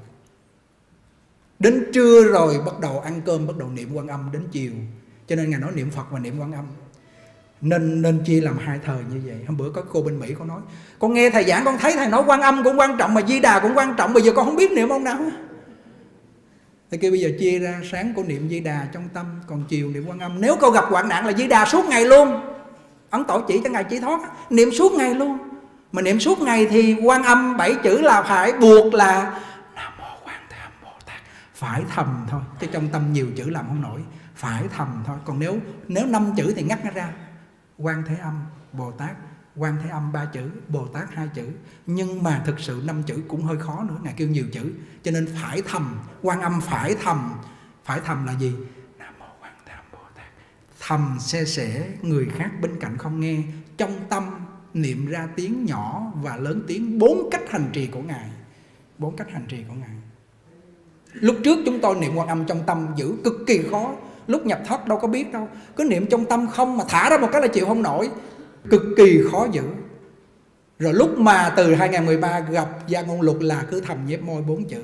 Suốt luôn cũng tổn khí, tổn khí hơi nó, nó ra hoài Không có giữ trong tâm được. Chúng tôi để ý mỗi lần lên giảng hoặc làm cái sự kiện gì quan trọng Mà chúng tôi chúng tôi kè cái câu Phật hiệu liên tục cứ A Di Đà Phật A Di Đà Phật thì nó dưỡng được cái hơi và cái công việc lúc đó lên giảng hay làm gì nó khác. Nó có cái định lực trong đó đặc biệt. Có nhiều người họ tới một cái sự kiện gì đó họ rung, họ đứng không nổi, tâm lực họ bị hao, khí lực họ hao, hai cái này thôi là giết họ là ngã lăn rồi.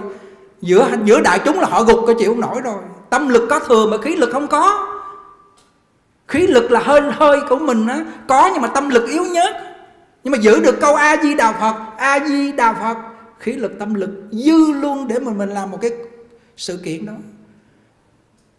Tin như nào, tin như nào. Vượt qua cái chuyện đó không được. Thèm thuốc, thèm thịt, thèm rượu. Cứ ai về đạo phật trong thời gian ngắn tự nhiên nó qua một cách nhẹ nhàng. Tâm lực quá mạnh. Tâm lực này là phật lực gia trì nữa. Qua quá dễ. Quá dễ luôn. Trong khi đó, tự thân mình qua không được. Trong đó tự thân mình qua không được. Nó dính ở trong đó rồi ra không được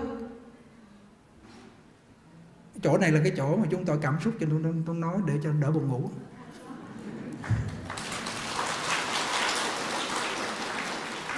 Sáng di đà chiều quan âm. Quan âm bảy chữ ra hơi thầm không mệt. Sáng có dưỡng hơi một bình một bình hơi. Sáng a di đà phật đầy rồi.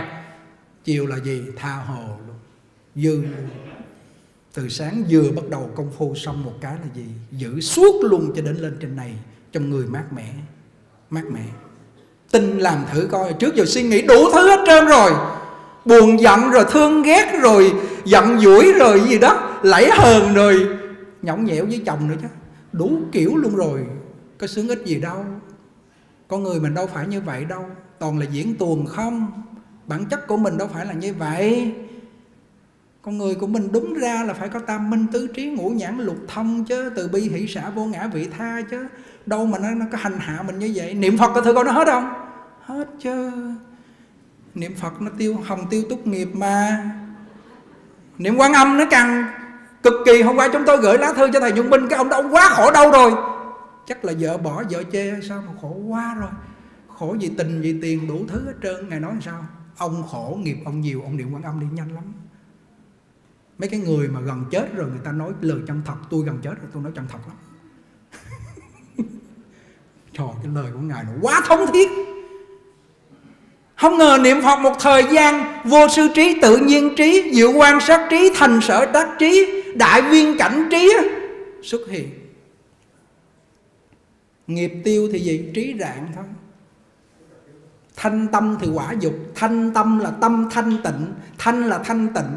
Muốn tâm thanh tịnh thì bớt ham muốn Mà muốn bớt ham muốn thì niệm Phật nó mới bớt được cho con người Mà dễ gì bớt ham muốn. Nên khi A-la-hán nó mới dứt được lòng tham mà. Bây giờ muốn bớt ham muốn thì niệm Phật, Mà niệm Phật thì tâm nó thanh tịnh, Mà thanh tịnh thì trí tuệ phát sanh, Nghiệp chướng tiêu trừ.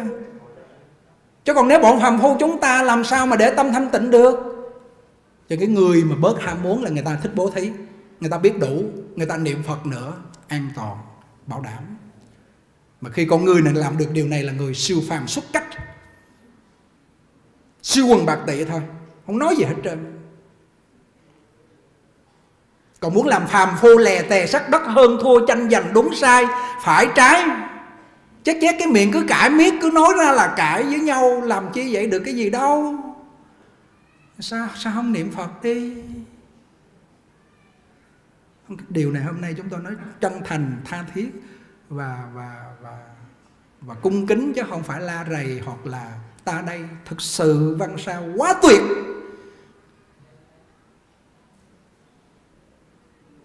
Chịu khó mà niệm phật tâm thanh tịnh rồi thì gì? Phát sanh trí tuệ học một biết mười.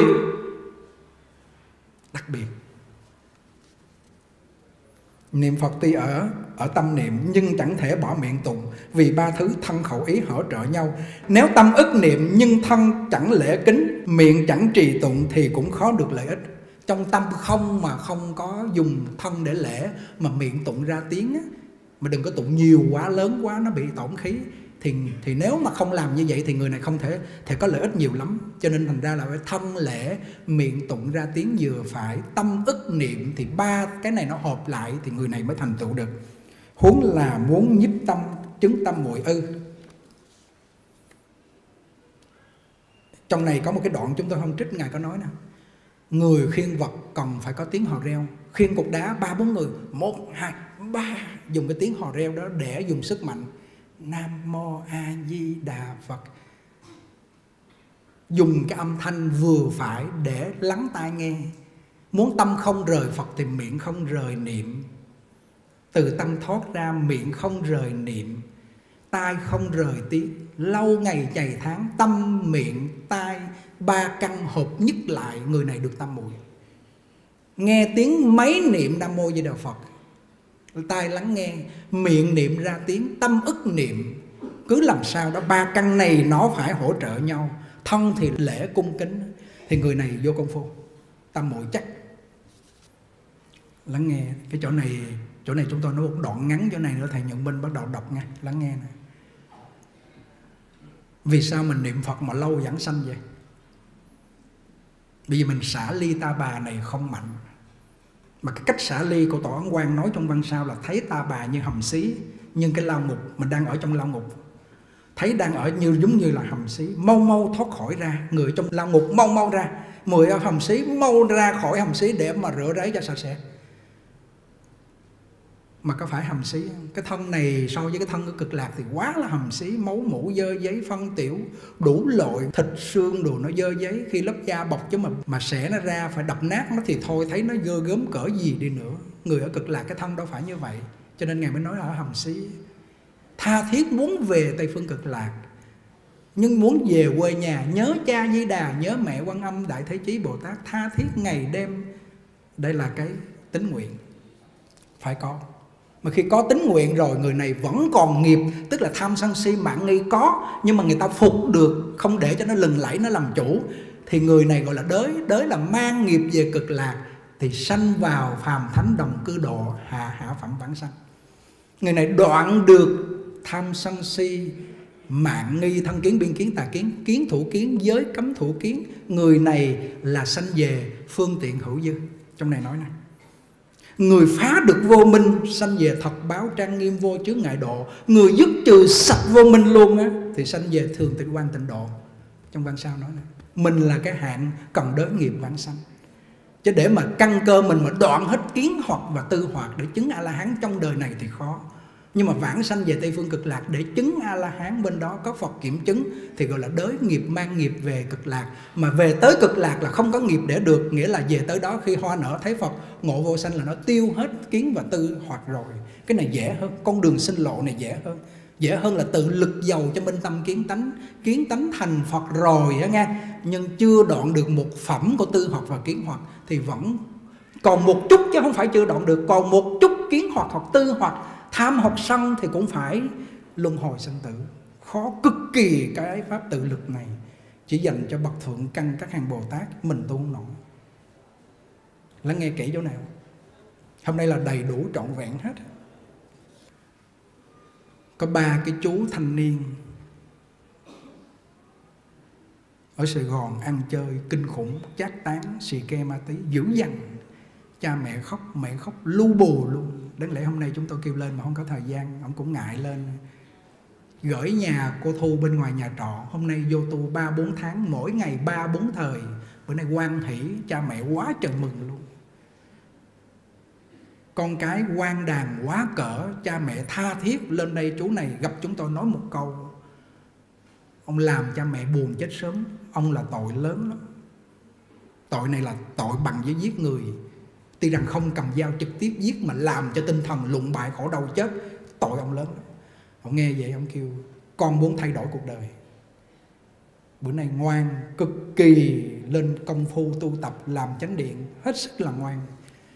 Đây là điều hôm nay chúng tôi thấy những người mà phải nói là ăn cho dữ dằn luôn mà lên trên này tu. Ổn. Thầy dọn biện vừa rồi dắt mấy bà cụ vô trong này. Tha thiết đảnh lễ chúng tôi mà chủ nhật vừa rồi chúng tôi lên không được bây giờ cái lưỡi không biết làm sao, nhai đụng cắn nó, cái trời nó đâu nó đâu mà nó nó rẻ đâu đâu nó đâu có được được đâu.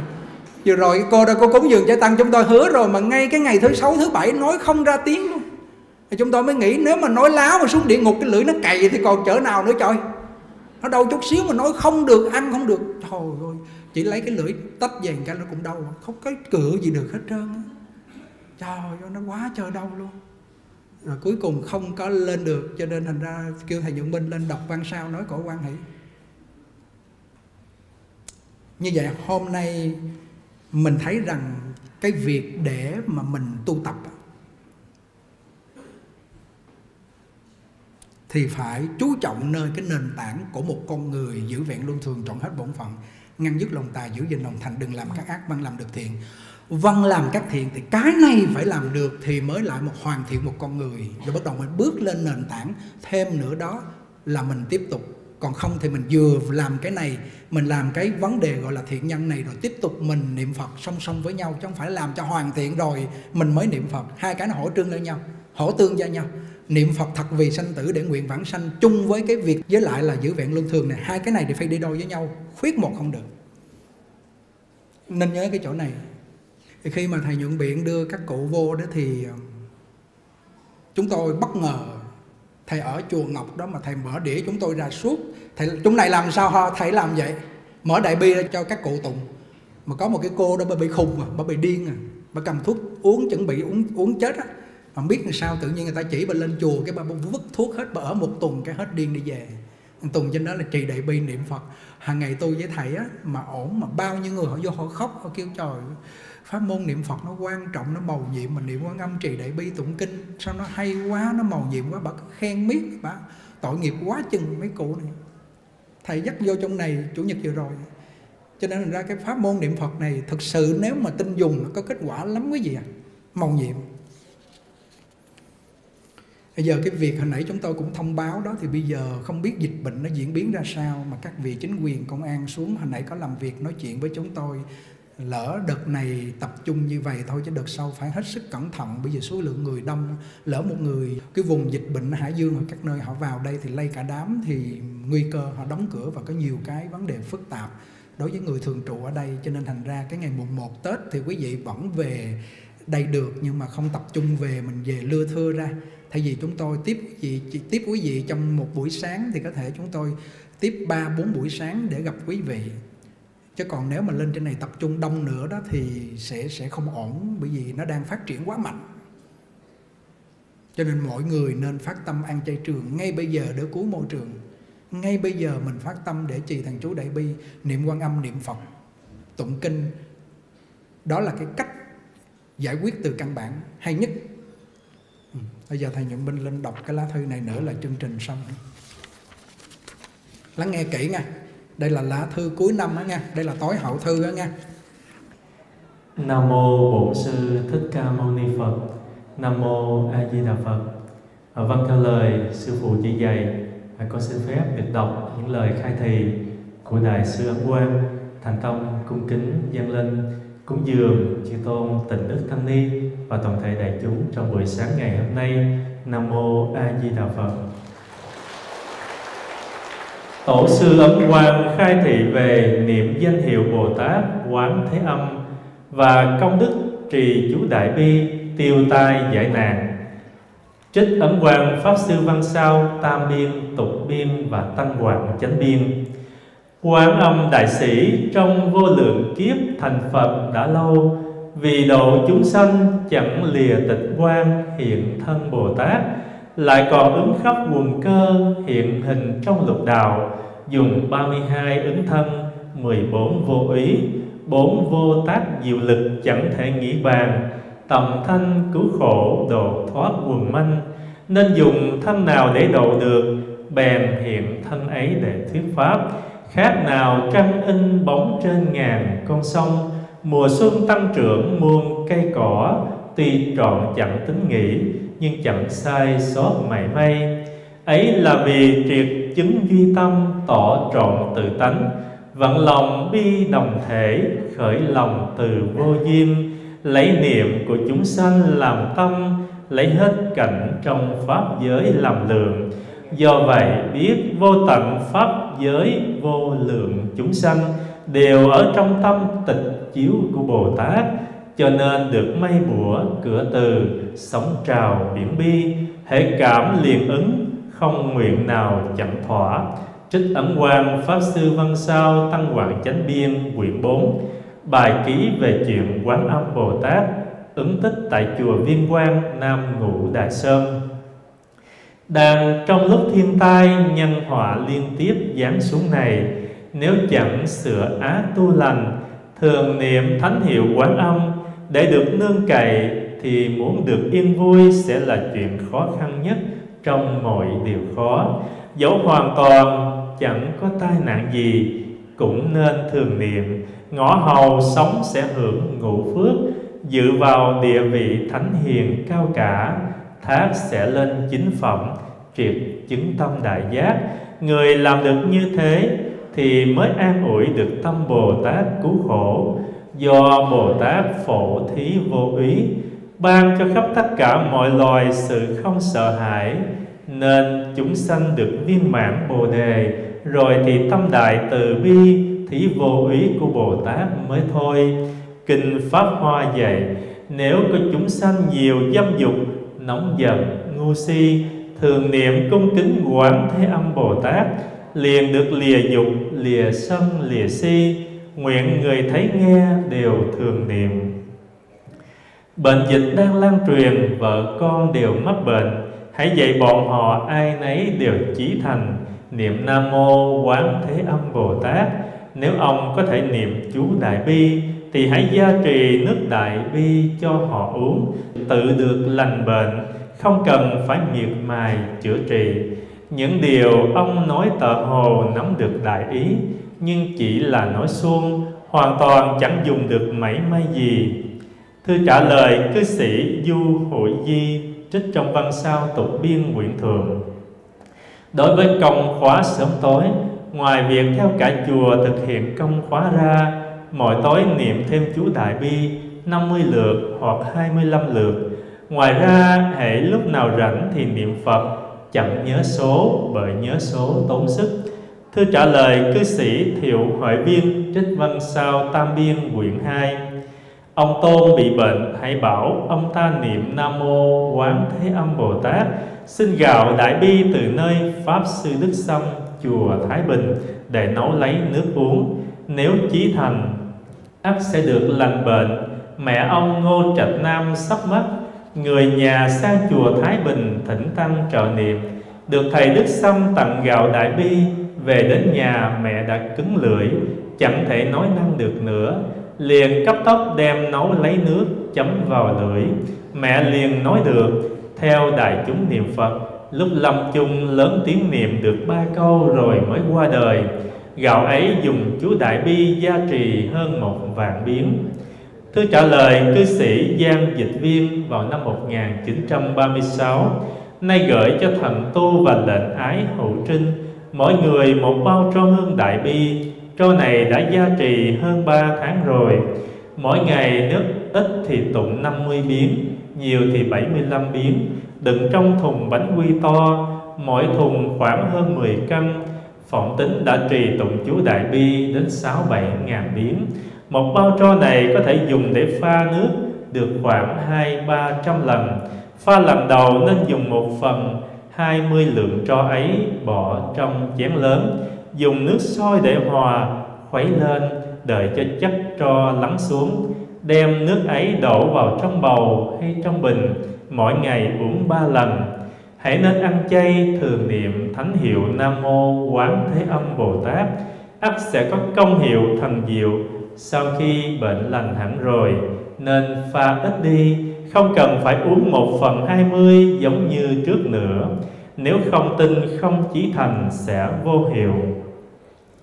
Hỏi như khi gặp nguy hiểm, lâm vào tình thế chẳng thể cùng một lúc kiêm tụng các chú, thì hãy nên ứng dụng như thế nào? Đáp, gặp phải tai nạn cực nguy hiểm, chỉ nên niệm thánh hiệu quán thế âm bồ tát là đỡ tốn tâm lực nhất, lại có cảm ứng nhiều nhất niệm phật có ba điều quan trọng. Một, niệm cho rõ ràng, nghe cho rõ ràng và nhớ cho rõ ràng. Chủ lực vẫn chú trọng, tại nghe, hãy nghe công đức thù thắng. Niệm phật theo lối truy đảnh dễ bị bệnh. Niệm lớn tiếng, nhỏ tiếng, niệm kim can hay niệm thầm đều tùy theo tinh thần của chính mình mà điều chỉnh để dùng. Há nên chấp chết cứng một pháp để nổi bị bệnh ư. Tùy thức chẳng bằng tịnh thính, lặng lẽ lắng nghe. Bởi lẽ tùy thức không khéo thì cũng bị bệnh, còn tịnh thính thì chẳng bị bệnh. Trích trong ấn quan pháp sư văn sao tam biên quyền 4 đáp lời hỏi của huyện tu học nhân. Trong tâm thầm niệm Phật hiệu bốn chữ A Di Đà Phật để dưỡng hơi, Lúc nằm chỉ nên niệm thầm trong tâm, Đừng nên niệm ra tiếng. Niệm ra tiếng sẽ tổn khí, Lâu ngày sẽ thành bệnh. Chớ bảo duyên tưởng một vị Phật, Công đức chẳng lớn bằng duyên tưởng nhiều vị Phật. Phải biết A-di-đà Phật là Pháp giới tạng thân. Một mình Phật A-di-đà có đủ toàn thể công đức Của tất cả mười phương Pháp giới chư Phật, Như những hạt châu nơi cái lưới của thiên đế. Ngàn hạt châu in bóng trong một hạt châu, Một hạt châu tròn khắp ngàn hạt châu. Nêu lên một mà thâu trọn tất cả, Chẳng thiếu chẳng thừa. Nữ nhân từ nhỏ phải học tánh nhu hòa, khiêm tốn. Sau này sinh con ắt nó dễ tính, ắt hiền lành, ắt chẳng bị chết, ắt chẳng đổ bệnh. Phàm con cái chết từ lúc bé hay bệnh tật quá nữa, Là do người mẹ nổi nóng mà ra chỉ có một số ít là do chính số mạng nó phải chết sớm. Thiên hạ xưa nay do sửa độc giết hại con trẻ, chẳng biết bao nhiêu hằng hà xa số, chẳng đáng buồn ư. Do ông làm vui lòng cha mẹ, nên tôi nói tường tận với ông. Hãy nên khuyên mẹ ông ăn chay niệm phật, cầu sanh tây phương. Ông và vợ ông cũng đều nên như thế. Trích ẩn quan pháp sư văn sao tam biên quyển 2 Thư trả lời cư sĩ Trương Đức Điền. Đối với chuyện đoạn dục, Hãy nên coi đó là cách trọng yếu bậc nhất để trị bệnh. Bất luận nội chứng hay ngoài chứng, Bệnh chưa được lành lặn vẹn mười, Muôn vàng trở nên dính đến chuyện ăn nằm. Hãy nhiễm vào chuyện ăn nằm, Bệnh nhẹ sẽ thành nặng. Bệnh nặng có thể bị chết ngay, Hoặc chẳng chết liền nhưng đã trở thành cá nhân ắt phải chết. Muốn chẳng bị chết cũng thật khó khăn lắm. Dẫu cho không chết, chắc là trở thành kẻ bấy bớt tàn phế, Chắc chắn khó thể giữ được sức khỏe. Chẳng biết là do chính mình chẳng khéo dưỡng sức, Lại đổ hô, y sĩ, chẳng có bản lĩnh thật sự.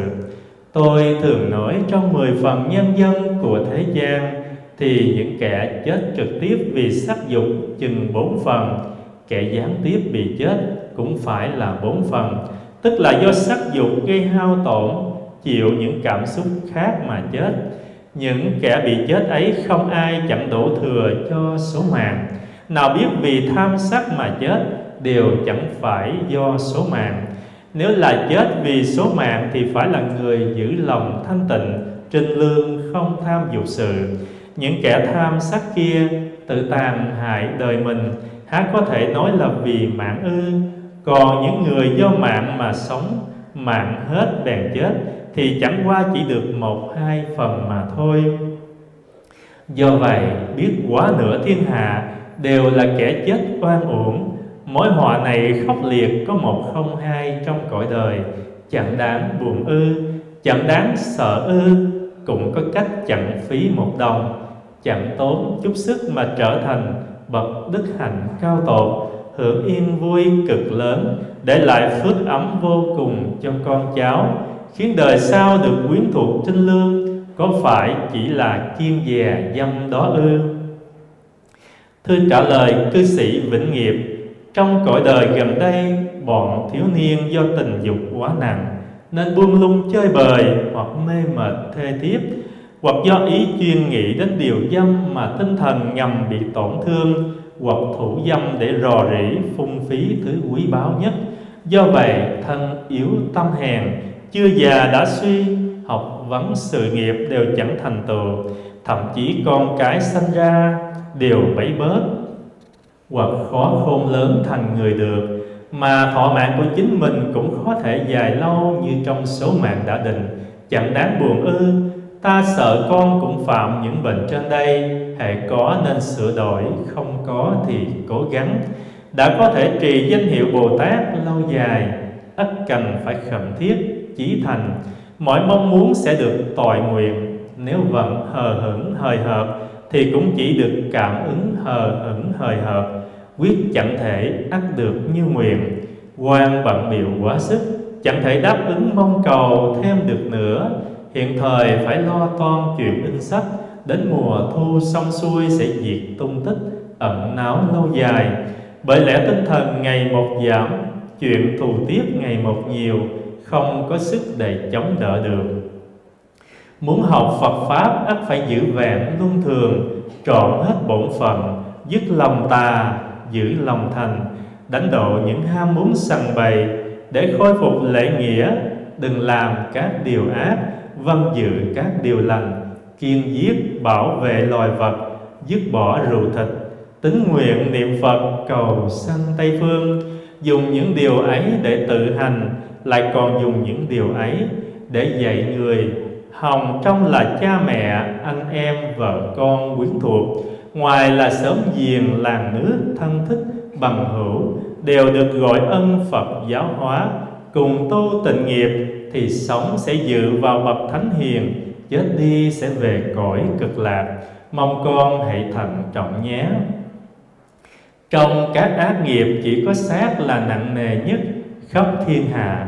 Không ai chẳng tạo nghiệp sát Dẫu cả đời chưa hề sát sanh. Nhưng hàng ngày ăn thịt thì tức là hàng ngày sát sanh. Do không giết thì chắc chắn không có thịt. Bởi lẽ kẻ đồ tể, người săn bắn, kẻ bắt cá Đều nhằm cung cấp cho nhu cầu của người ăn thịt, Nên mới giết thay cho họ. Một cửa ải ăn thịt hay ăn chay, quả thật là cái gốc của sự thăng trầm của chúng ta và là cái gốc khiến thiên hạ bình yên hay loạn lạc. Mối quan hệ ấy chẳng nhỏ đâu. Những ai tự biết thương thân và yêu thương nhân dân khắp cõi đời, muốn được trường thọ an lạc chẳng mắc phải tai họa ngoài ý muốn thì hãy nên kiên giết ăn chay. Đó chính là diệu pháp bậc nhất để vãn hồi thiên tai nhân hòa. Nếu chẳng cảm nhận đức hiếu sanh của trời đất Cứ mặc tình giữ ý niệm tham ăn, tham uống Cậy ta mạnh lắng hiếp loài yếu Ăn thịt chúng nó cho thỏa bụng mình.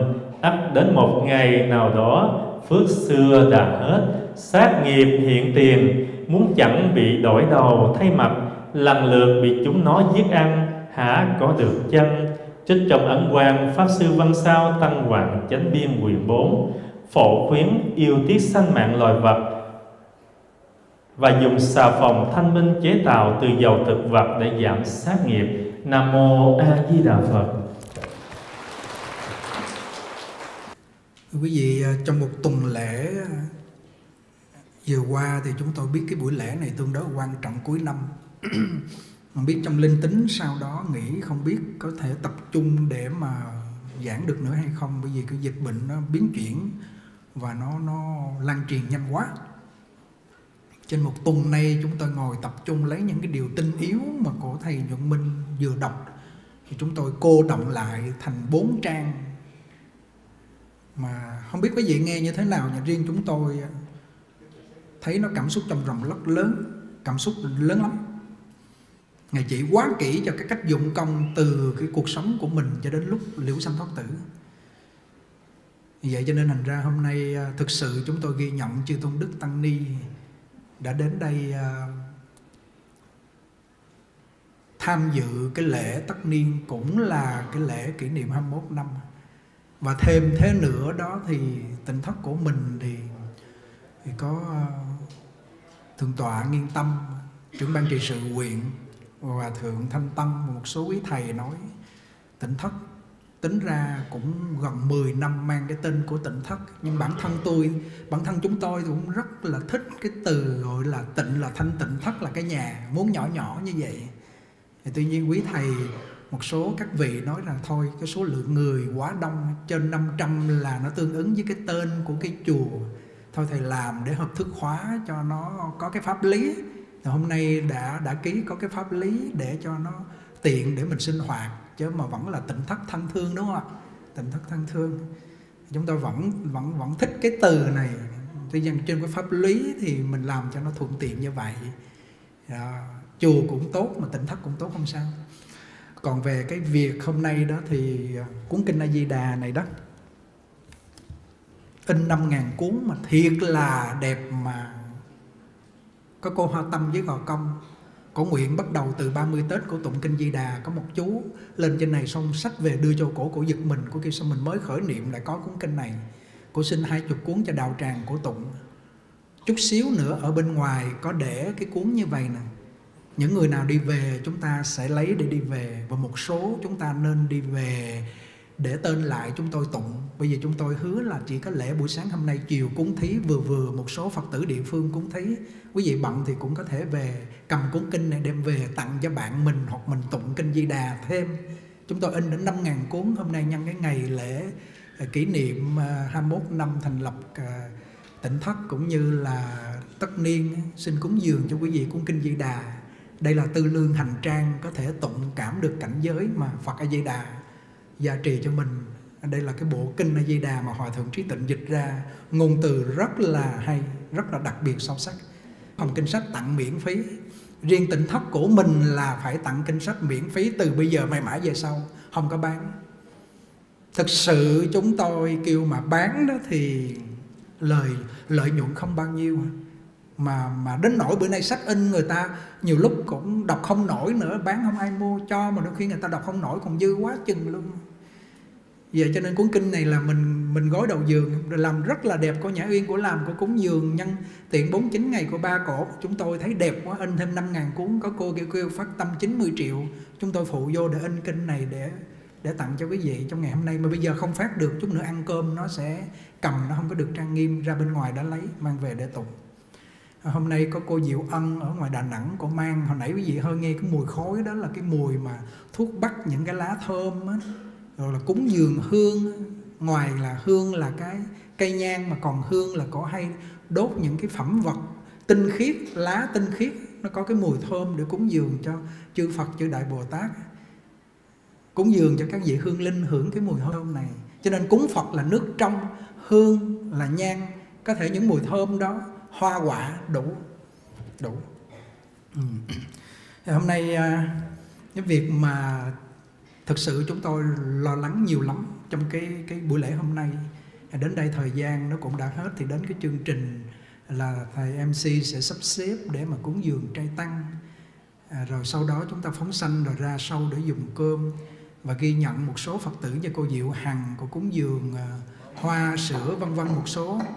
Rồi à, Phật tử thì hôm nay nhận được cúng kinh mang về, Nhưng một số quý vị ở lại ít ít để chiều cúng thưa ra thôi, Không có cúng đông lắm. Vì cái dịch bệnh này thì chính quyền họ cũng lo ngại, Cho nên chúng tôi cũng thông báo như vậy. Giờ đây thì ờ, chương trình còn vài cái à, cái chương trình ngắn gọn Cái buổi giảng chúng tôi hôm nay đến đây đã tạm ngưng. Dạ Di Đà Phật.